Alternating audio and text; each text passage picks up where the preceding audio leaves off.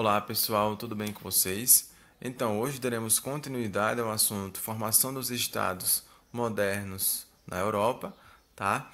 Então, na última aula nós vimos um pouco sobre o processo de transição entre a Idade Média e a Idade Moderna, tá? Vimos também sobre o capitalismo comercial, que tem muito a ver com as trocas comerciais, né, que favoreceram é, o desenvolvimento da produção e a circulação artesanal de moedas, Tá? Vimos também sobre as mudanças na estrutura da sociedade daquela época, que culminaram né, na transação né, das sociedades medieval e moderna, e vimos também as diferenças entre as estruturas de cada uma delas. Tá? Além, é claro, né, de termos visto um pouco sobre a consolidação dos estados modernos, que foi resultado né, de um longo processo que teve início com o nascimento dos estados monárquicos e a centralização do poder na figura do rei. Então vimos que rei e monarquia é a mesma coisa, tá? E que é, o sistema de governo daquela época ficou chamado de monarquia absolutista, né? pois o rei tinha os poderes concentrados em suas mãos. Né? O poder do rei era soberano. E também ele dependia né, de uma administração bastante burocrática, certo, gente? É, vocês viram né, que é, eles mantinham né, um exército permanente, uma burocracia administrativa, um sistema tributário e a diplomacia internacional, certo? Então, vimos também sobre o mercantilismo, que foi a principal prática econômica daquela época, que estava baseada né, nas práticas do protecionismo da balança comercial favorável e do metalismo, tá? Aqui veremos um pouco sobre a crise do catolicismo que aconteceu naquela mesma época, tá? E que deu início, portanto, à reforma religiosa. A gente praticamente só vai rever esse assunto, né? Pois já estudamos anteriormente. Então, podemos dizer, né, que a crise sofrida pela Igreja Católica no século XVI posteriormente chamada de Reforma Religiosa, foi mais um dos eventos importantes do período, como vimos no caderno anterior. E esse processo que dividiu os fiéis da igreja em católicos e protestantes ocorreu por várias razões. Entre elas, podemos citar a venda de indulgências, a simonia, né, que é a compra e venda de situações de ordem espiritual ou religiosa, a violação de votos sacerdotais e os abusos de poder que eram né, cometidos pela igreja naquela época. E na esfera econômica, a cobrança de altos impostos pelo clero, pela igreja, foram motivo suficiente para estados emergentes romperem com essas obrigações fiscais e, consequentemente, reivindicarem os domínios do território eclesiástico. Né? Então, quando os reis chegaram ao poder, a igreja ela perdeu seu prestígio, tá, gente? É, então, pessoal, dando continuidade, a Igreja Católica, né, no fim da Idade Média, deu início a um processo de reforma interna. Porém, com a reforma protestante, encabeçada por Martin Lutero, já na primeira metade do século XVI, o medo de perder fiéis levou a Igreja a convocar um concílio chamado Concílio de Trento, certo? Que aconteceu entre 1545 e 1563. E na ocasião, a fé católica foi reafirmada, assim como a supremacia do Papa e da hierarquia eclesiástica. É, a igreja, né, com isso, manteve os sete sacramentos e o culto a santos e à Virgem, confirmando que as crenças eram baseadas nas é, sagradas escrituras. É, com isso, né, a venda de indulgências foi eliminada e novas congregações, é, como a Companhia de Jesus, foram criadas. É, além disso, podemos dizer que eles também criaram o Tribunal do Santo Ofício, né, que também era chamado de Inquisição. Criaram não, eles reativaram, né, porque já existiam, tá? podendo processar e condenar acusados de heresia, né, que eram as pessoas que eram acusadas né, de praticarem é, ou negar as crenças religiosas. Então, por meio de tortura, as pessoas julgadas né, por esse tribunal eram interrogadas e, se fossem consideradas culpadas, eram executadas. Outra forma de controle das heresias era a congregação do índice, que era responsável pela censura de trabalhos impressos e pela proibição de obras. E vocês viram que é, vários trabalhos, né, principalmente de cientistas, foram nesse caso aí é, controlados pela igreja, tá? Então, gente, as diferenças religiosas entre católicos e protestantes provocaram diversas guerras entre reinos da Europa. Né? Os confrontos internacionais mais importantes é, desse contexto foi a Guerra dos 30 Anos, né, que ocorreu entre os, entre os anos de 1618 e 1648.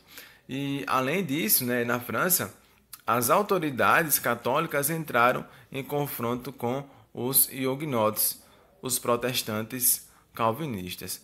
Essa guerra dos 30 anos foi travada né, entre França e o reino da Inglaterra, tá, gente? Então, no caderno anterior, estudamos né, os movimentos religiosos resultantes da Reforma Protestante e, portanto, né, faremos apenas uma retomada simples dos três principais nomes do protestantismo que foram Martinho Lutero, João Calvino e Henrique VIII. Então aqui destaca cada um deles. Né? Martinho Lutero foi considerado a figura mais importante da reforma religiosa e foi o fundador né, do luteranismo. Deixou cerca de 400 obras escritas, entre elas as 95 teses, que foi uma obra fundamental do, protestantismo, em que critica a Igreja Católica e o poder é, autoritário do Papa.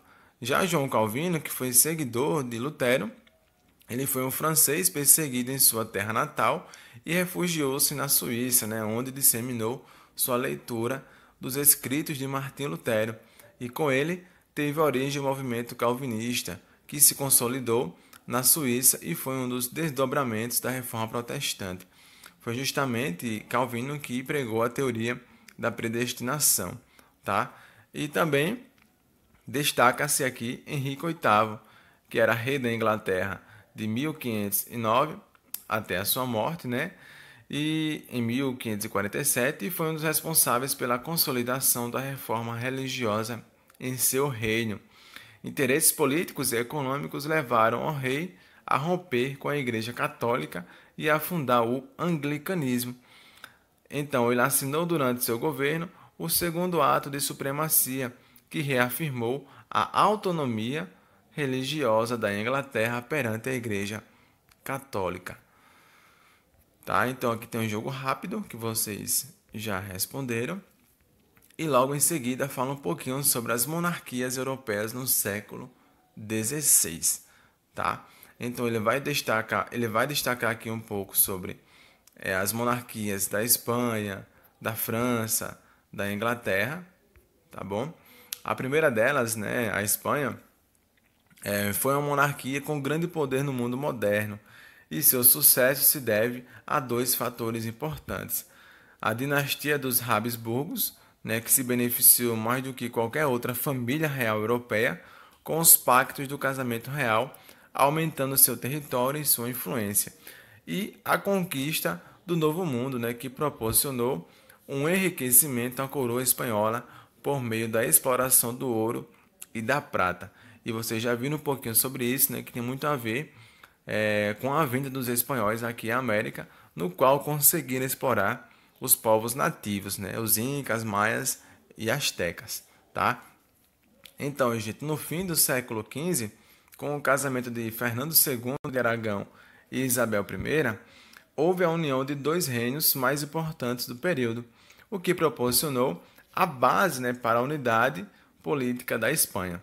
No entanto, o poder da monarquia não foi reconhecido da mesma maneira em todas as regiões do reino, de modo que Isabel e Fernando colocaram em prática um programa de reorganização econômica e política para fortalecer sua autoridade. Certo? Aqui fala um pouquinho mais sobre eles e destaca que a maior parte da população é, espanhola né, estava concentrada em Castela.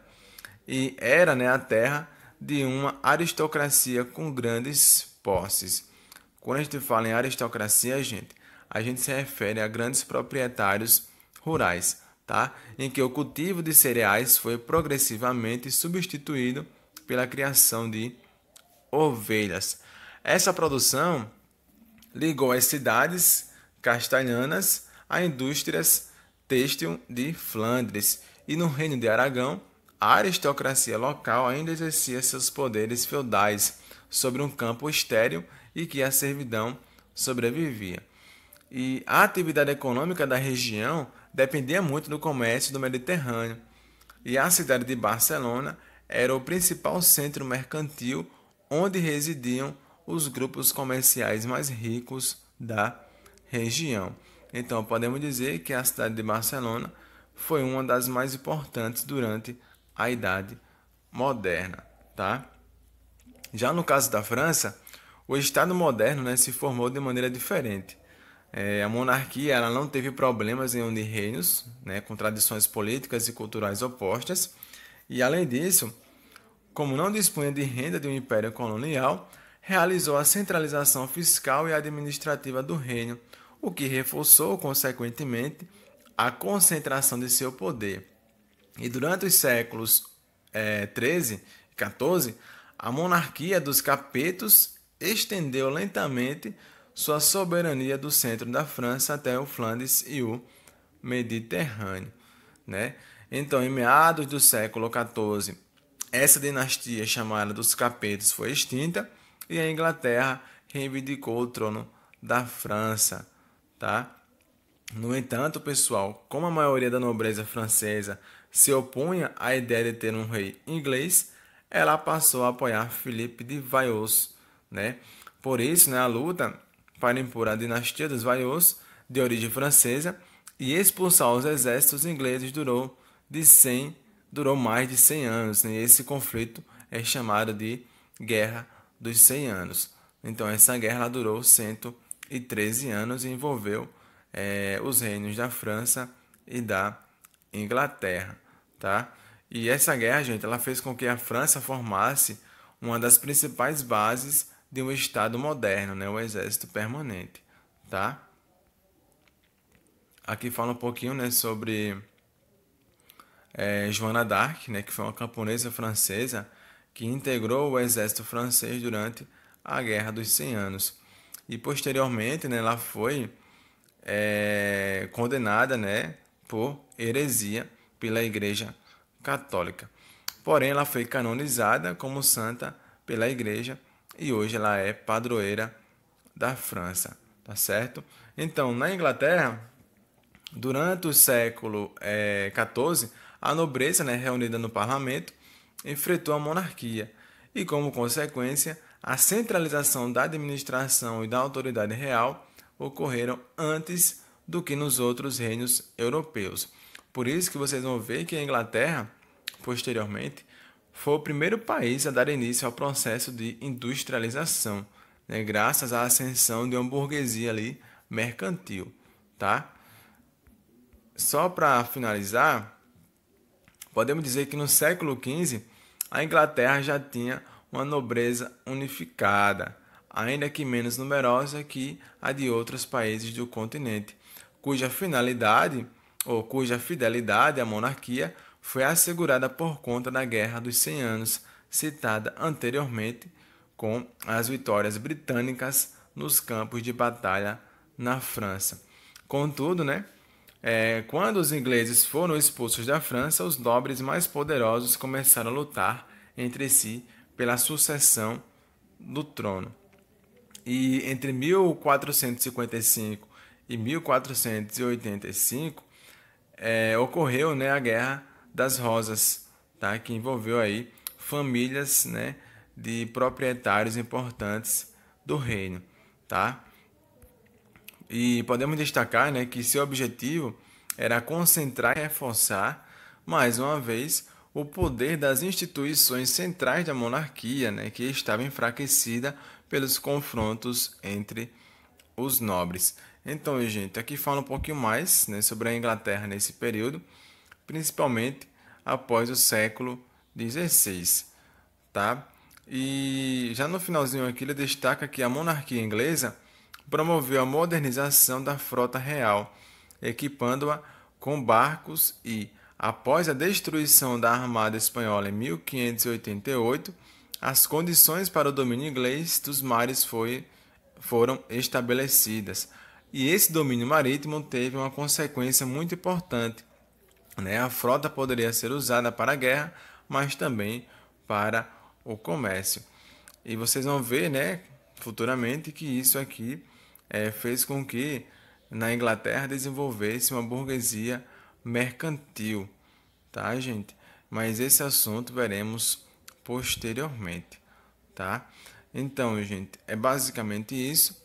Na próxima aula nós daremos continuidade, tá? Então, bons estudos e até a próxima. Tchau.